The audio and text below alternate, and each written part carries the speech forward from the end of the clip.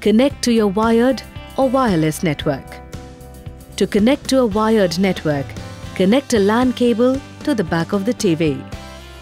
To connect to a wireless network, you require a wireless router.